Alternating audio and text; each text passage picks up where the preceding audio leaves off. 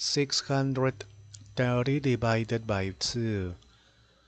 6 is not less, therefore with 6.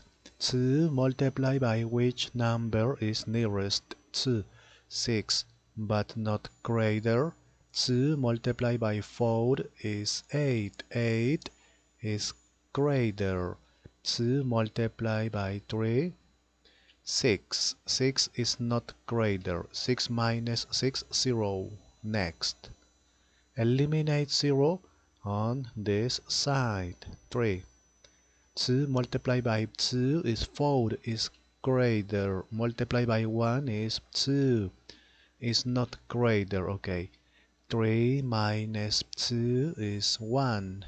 Next. 10.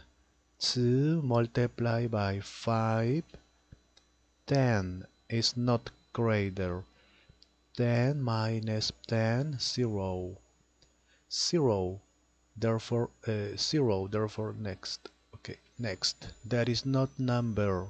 Therefore finish it okay? That is not number